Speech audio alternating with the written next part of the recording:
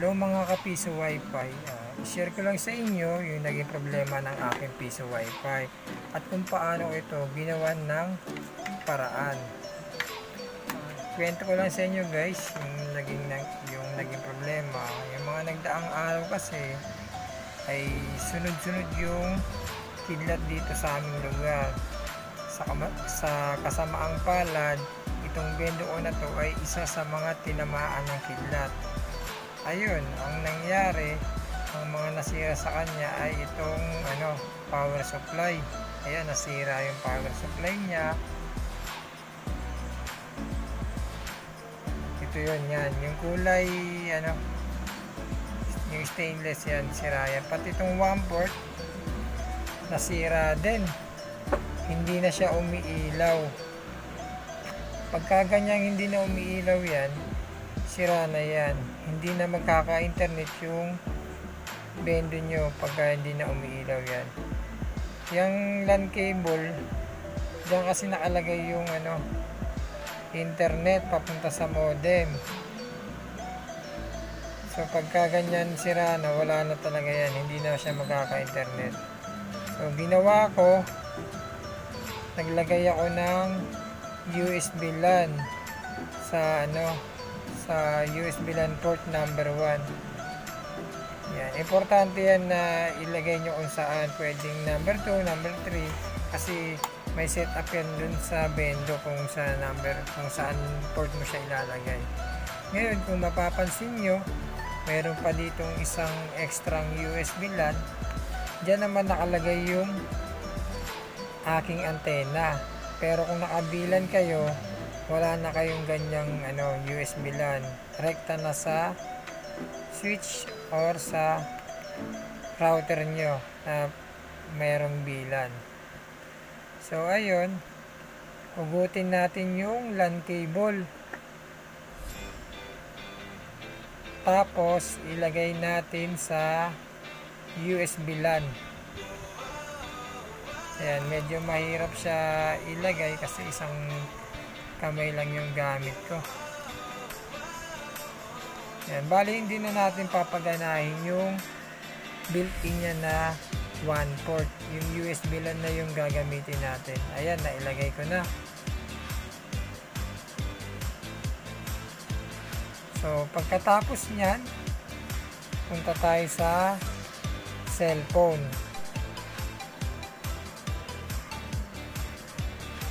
o, connect lang kayo sa piso wifi nyo. Yan. Once na once na connected na kayo open nyo yung google chrome nyo. Medyo delay yung salita ko kasi naka voice over na lang to eh. Type nyo yung 10.10.10.1 sa username admin. Ayan, lagay nyo lang admin. Tapos kung sa password yan type nyo lang din yung password nyo. Hindi nyo na makikita kasi sa screen record sa screen record hindi na nakikita yan. Tapos pag nailagay nyo yung password pindutin nyo yung login. Yan nakalagin na ako Ayan, para ma-view nyo yung ibang option, pwede nyo ipahalang yung cellphone nyo or pindutin yung tatlong guhit saka, ay tatlong tuldok dyan sa taas sa kanan. Ayan, tapos pindutin yung desktop site. Tapos,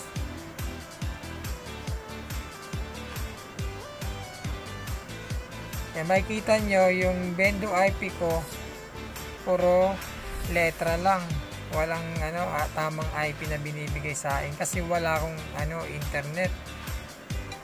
Gagawin dyan pindutin nyo yung tatlong guhit sa kaliwa ayan yung 3 line. Hanapin nyo yung vendor settings.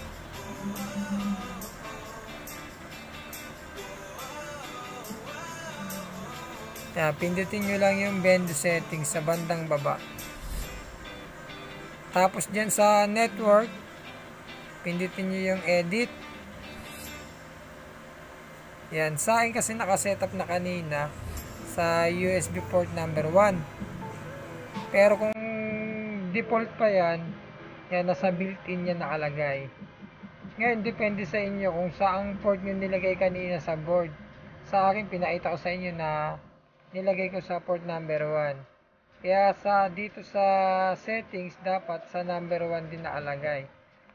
Kapag napindot nyo na napindot nyo na sa number 1, pindutin nyo lang yung kulay red, yung apply settings. Tapos, yes nyo.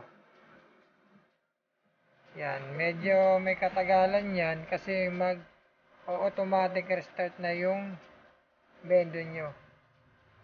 Hihintayin nyo lang yan na mag-restart.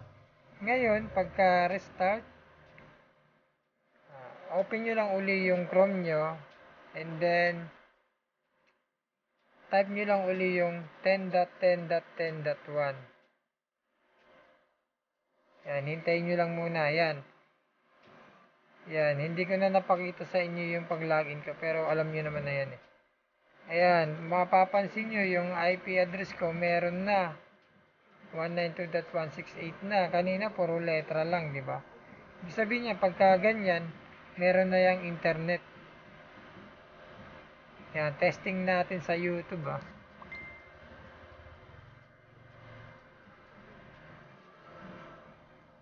Yun, meron na siyang internet. Okay na. Yun lang guys. Maraming salamat.